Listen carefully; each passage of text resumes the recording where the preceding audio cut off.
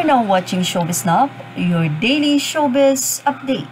Hindi nga maintindihan ng mga tao kung malulungkot ba sila o magiging masaya sa naging pahayag ni Rep. Marcoleta sa pagkaalok ni PBB sa kanya na maging Department of Energy Secretary.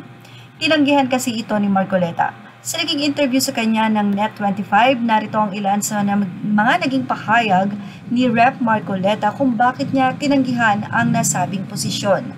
Aniya, hindi naman daw siya nakikipagitgitan sa posisyon. Gusto kasi nitong si Marcoleta na maupo siya sa Senate.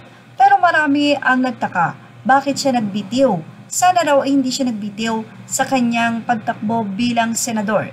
Anyway, mula sa naging interview ng Net25, sabi ni Marcoleta, kailangang malaman ng mga kababayan nating hindi ako nakikipagitgitan sa posisyon na yan. Sabi niya, the lawmaker insisted that he wants someone in the Department of Energy who can push for the needed reforms that would ease the highly energy costs in the country. Ito ay mula sa artikulo ng MB. Ang gusto kong malaman, si ni Marcoleta, kung sino man ang itatalaga diyan ay kailangang ma-address talaga yung problema ng bansa at reforma para po ang ipinangako na maibaba natin yung singil ng kuryente ay matupad yan ang pagpapahayag ni Rodan de Marcoleta.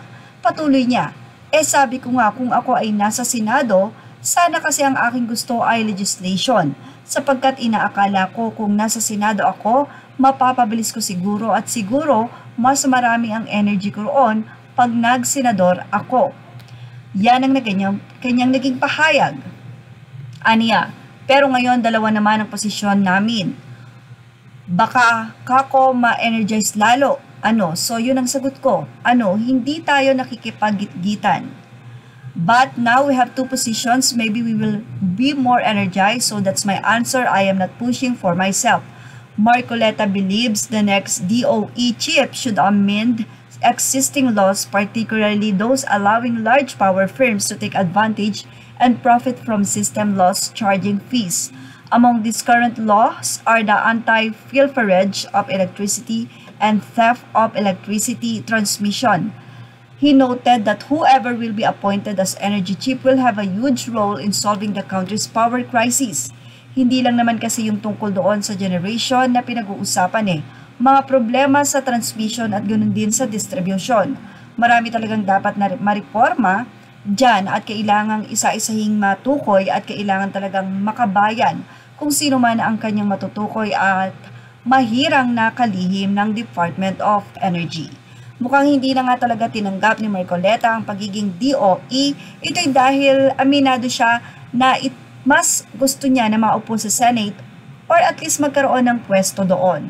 Well, malay naman natin bigyan siya ni PBBM ng mas nararapat or fit para kay Mr. Marcoleta. Samantala, nagkaroon naman ito ng mixed reaction sa mga netizen. Ang ilan ay nalungkot, ang ilan naman ay nanghinayang. Narito ang kanilang naging komento. Narito ang naging komento at say ni Zenaida Kamata. Ayon sa kanya, bakit nag-withdraw ka kasi Atty. Marcoleta? Everybody, you own our votes. There are also secret voters who voted for you. You owned millions of votes if you didn't cancel your senatorial candidacy. At first impression, we and the Sambayanan knows you can able to huge contributions to the House of Senate. Your brain is far more worth and useful in the Marcos team. You should not doubt at that time. Sino man ang netizen na si Voyager Andaya Sumera, nag-withdraw ka attorney, paano ka mananalo? Say naman ni Rene Cambal, if this really his decision, this man deserve the respect and gratitude from the decent citizens of the Philippines. Naman ay tila hindi nagustuhan ang pananalita ni Marcoleta na kung sana daw ay nasa Senate siya ay mas makakagawa siya ng mas maganda roon. Sabi ng isang netizen, hindi ka panipaniwala ang sinasabi nito ah. May mga may mga netizen naman na medyo ng guluhan sa naging pahayag ni Kong Marcoleta. Alila, bakit gusto niyang maupo sa Senado pero nag-withdraw naman ito. Hindi naman daw siya natalo kundi nag-withdraw.